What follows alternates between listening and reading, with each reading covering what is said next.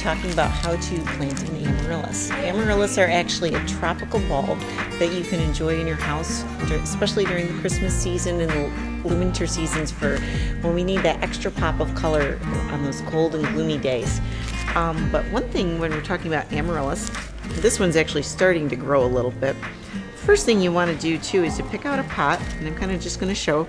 You want to have about an inch, inch and a half around the bulb so that the bulb's not too crowded. You don't want a pot that's too large for it, otherwise they don't bloom as well.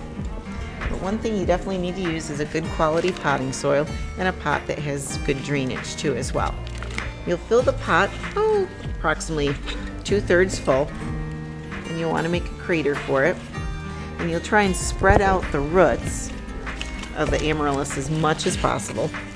Bring the soil level up to a certain level. You want it just about almost where the neck starts, where this rubber band is. You want the soil to be below that.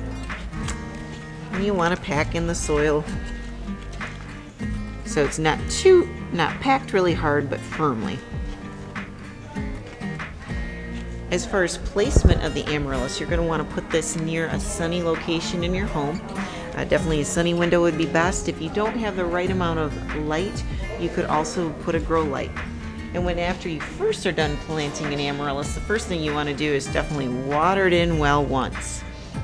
And just kind of let the, so, since this soil is pretty dry, I'm getting quite a bit of water. Another option you can do when planting an amaryllis is you can actually, if you have a tall vase, because sometimes amaryllises will get a little tipsy when the flower stalk is really tall and very heavy, you could use a stake in a regular pot such as this or you can actually plant it with some stone in the bottom that can be your reservoir for uh, the water so that the way the bulb isn't sitting in the water so it doesn't rot out and the roots will go down through the rock and grab the water but then this part of the base will actually help support the bloom so it doesn't tip over.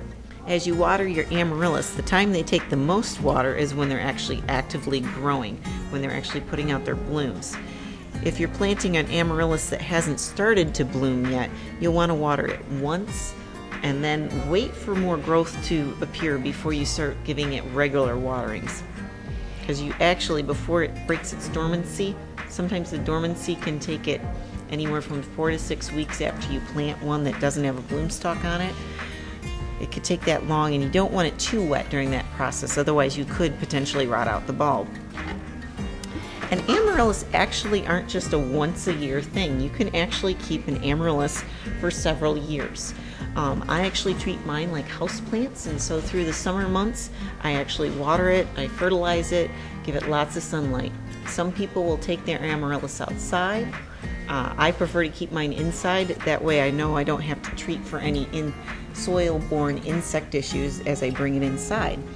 And uh, during uh, October, I start withholding the water, let it dry out, let the leaves dry out, and I put it into a dark spot in my house. I have an ideal spot in my storeroom where it's about 60 degrees and dark, and I let it go through there for about six to eight weeks in the dark, and then I'll bring it out again for the Christmas season to enjoy blooms again.